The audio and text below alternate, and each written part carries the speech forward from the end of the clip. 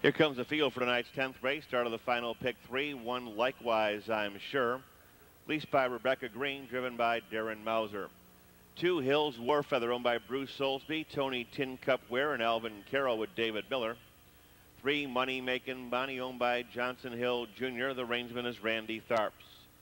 Four Mudges Molly, owned by Martin Racing with Dave Hawk aboard. Five Flater Dee owned by Ronald Jackson, Brad Hanners. Six DeMars Jessica, owned by Mark Perrin and David Ram with Jody Essig.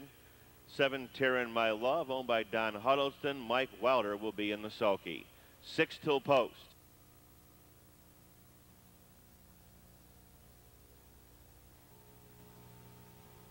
Starting gate is underway.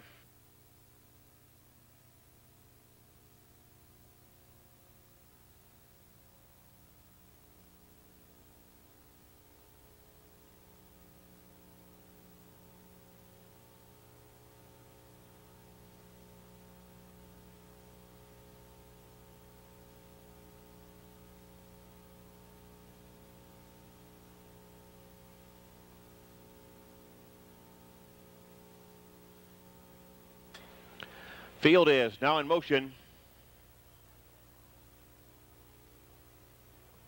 And there they go.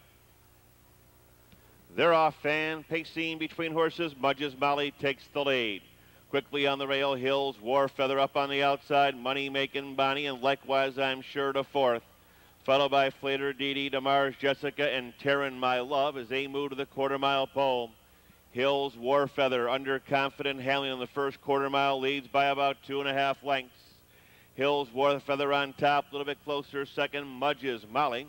As they open up here in 28 seconds flat, four to five favorite brings them uh, past the stands to the half mile pole. It's Hills, Warfeather up top by two. Mudges, Molly second. Here comes Money Making Bonnie where she likes it best on the outside. Likewise, I'm sure along the pylons. To her flank comes Flater Dee Up on the outside, a three-year-old Taryn My Love and DeMars Jessica is pinned in along the rail seventh. Moderate second quarter here. They're at the half-mile pole. Hills War Feather gears them down 58 and 4. They're out of the turn and down the backstretch. Hills War Feather bouncing right along leads by a length and a half. Mudges Molly second ahead. Money making Bonnie up on the outside. Likewise, I'm sure, fourth as they move into three quarters.